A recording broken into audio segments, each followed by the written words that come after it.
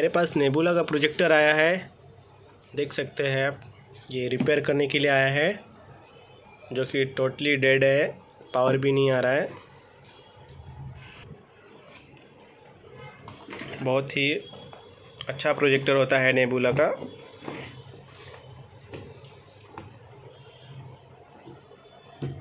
जैसे कि हम ऑन करके इसको देखते हैं।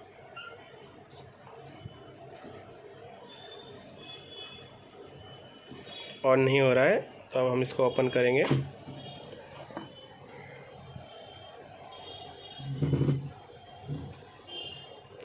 पहले हम इसे ओपन कर लेते हैं।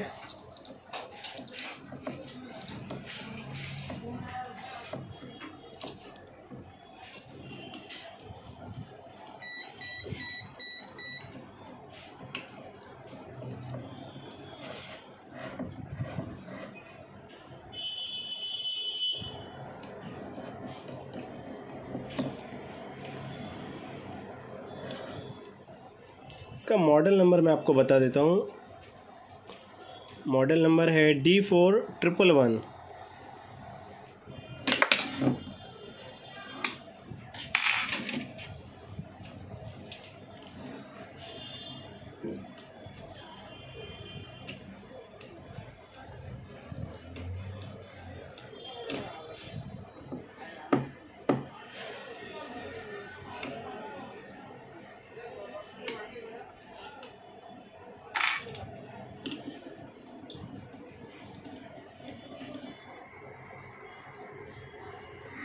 तो मैंने इसको निकाल लिया है। ये इसका और का मदरबोर्ड है। जनरली मैंने दो तीन इससे पहले भी रिपेयर किया और वीडियो भी डाला है। आप लोगों ने देखा होगा, अगर नहीं देखा है तो आप देख लीजिए मेरे चैनल पे जाके। तो इसका इशू आता था। अभी पहले मैं इसको चेक करता हूँ। फ़िलहाल ये तो नहीं टूटा हुआ है। दो तीन जो, इससे पहले मैंने जो रिपेयर किया था, उसका यही कनेक्टर ही टूटा था, लेकिन इसका कनेक्टर नहीं टूटा है। डेट मीन्स ये ओके है और प्रॉब्लम कहीं सर्किट में है। या फिर इसके अंदर भी इशू रह सकता है, इसके अंदर वाले सर्किट में। तो मैं पूरा ओपन करता हूँ या चेक कर लेता हूँ, पहले इधर ही चेक कर लेता हूँ, शायद इधर ही इशू रहेगा कुछ।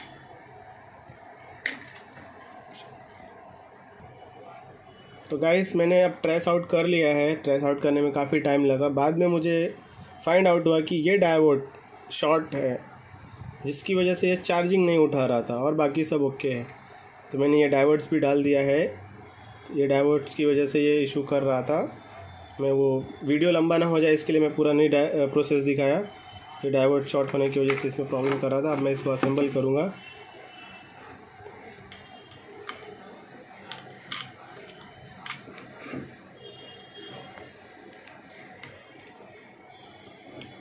उनके लिए वीडियो है जो थोड़ा नॉलेज रखते हैं रिपेयर करना जानते हैं। उनके लिए हिंट के लिए है।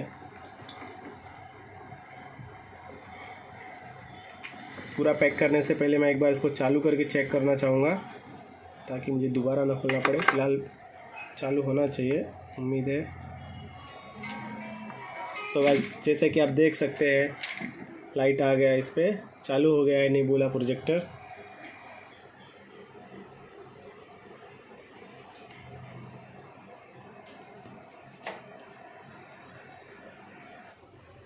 सो गाइज़ आप देख सकते हैं जैसा कि अभी प्रोजेक्टर वर्किंग कंडीशन में है चालू।